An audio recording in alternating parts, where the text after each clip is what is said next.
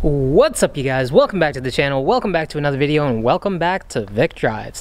This week's video is all about the beautiful thing behind me, my 2000 Mercedes ML320, in case you haven't been following the channel at all, in which case if you are interested to know more about this thing, there will be a video in the top right corner, I think, of your screen.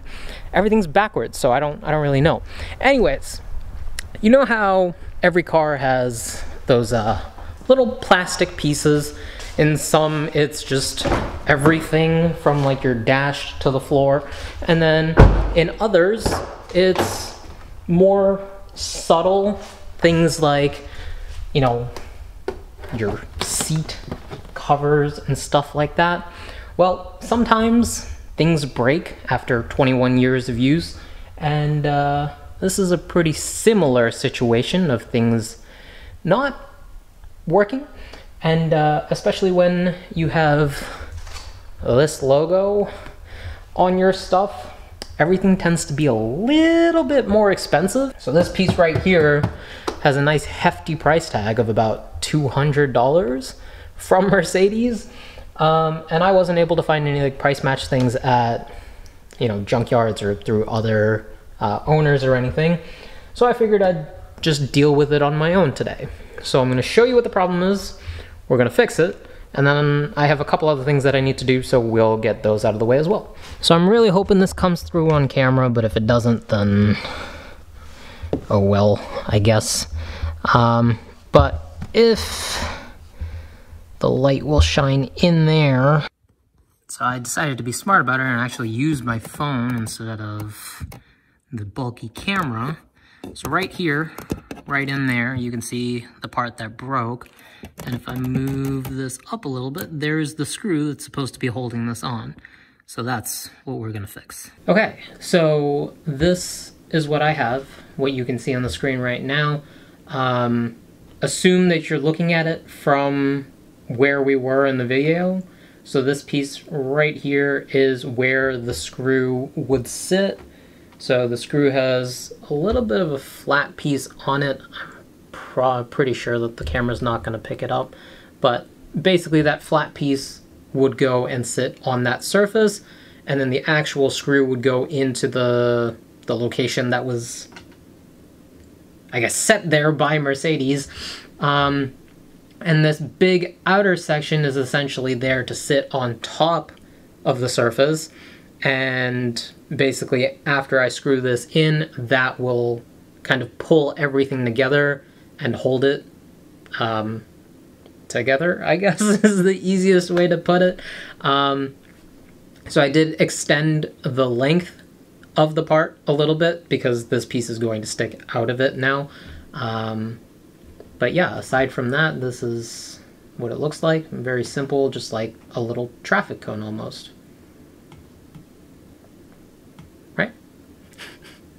Alright, so I'm to go ahead and get this printed, and while it's printing, we have something else to do, so I will see you back outside. Okay, so while that prints, we have another thing that we have to deal with. Um, so have you guys ever wondered what 21 year old floor mats look like? No? Well, uh, I'm about to show you.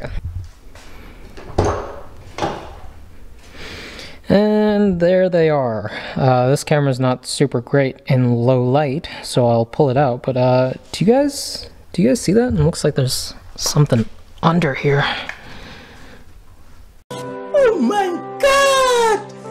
Wow! I'm not one to self-advertise, but uh, maybe you guys should listen to this secret under floor mat subscribe button and do just that.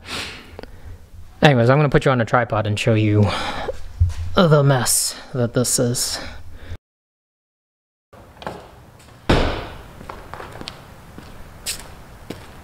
Driver side. Pretty sure these were clear at one point, so that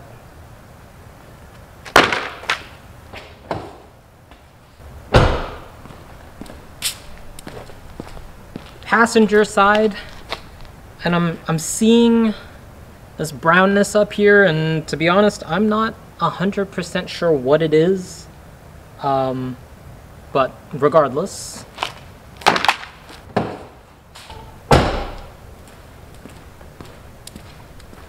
and a nice long piece for the back seats. This one's not as bad because we don't get a whole lot of foot traffic in the back. Regardless, so my parents, as fantastic as they are, went out and got me a set of floor mats for my birthday. Yeah, that's that's really all there is to it.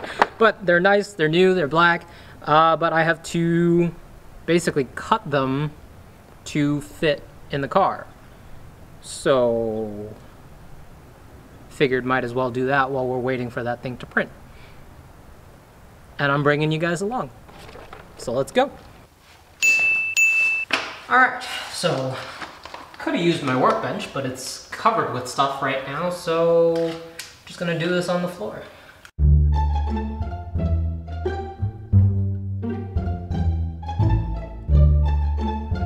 Okay, I'm not entirely sure how to open this, so I will start the camera back up after I figure it out. Hang tight. 2,000 years later. If anybody out there works for or knows somebody who works for WeatherTech, what the hell, man? Like, that was probably the most difficult thing that I've ever done. It was, it would probably be easier to break into a bank than it was to take that thing apart. Took literally forever. Anyways, here are our floor mats. And I got this little kit of uh, what I can only assume are really dangerous frisbees. Um, yeah, so I'm probably not going to use these. Uh, but yeah, let's go ahead and install these. So the best part about mats like this are that you can basically just toss them in there, figure out the size that you need, and then just cut off what you don't need. Obviously, it'd be a lot easier to just get mats that fit. Hello, darkness, my old friend. That's one in. So all I did was strip off this side over here. I actually really only took out two rows up there. There's no light over there, so you guys can't really see it. But two rows over here, and then only one that went up. So this is like the, the area where you rest your foot when you're not using it because it's only an automatic. Two pedals, boring life, but it's an SUV, so you know, such is life. As our Lord and Savior Chris Fix would say, out with the old and in with the new. All right, let's go check up on that print. And This is probably the most boring content anyone has ever watched.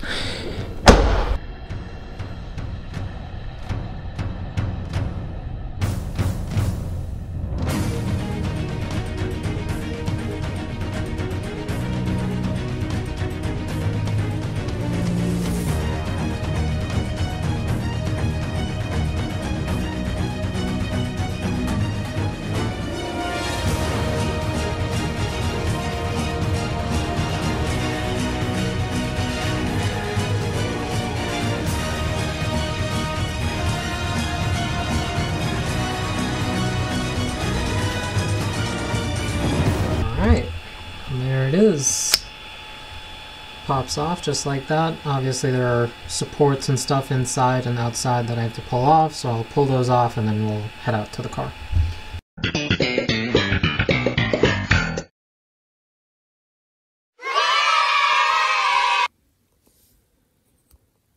And there we go, you guys.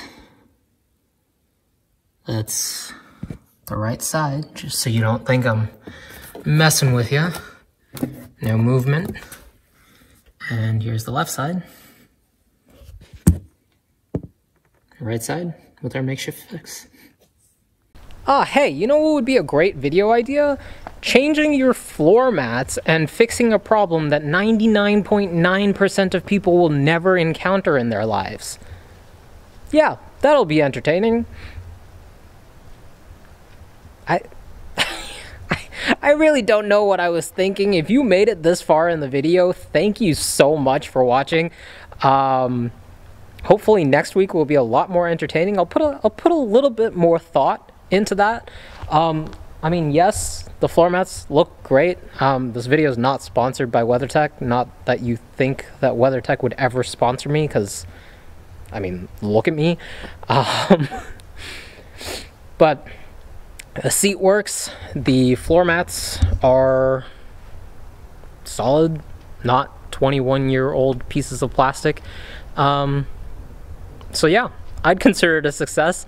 So anyways, if you enjoyed the video and you haven't already, consider subscribing to the channel where I will do more stupid things like this on a weekly basis. Every Wednesday, you can expect to see me do something ridiculous.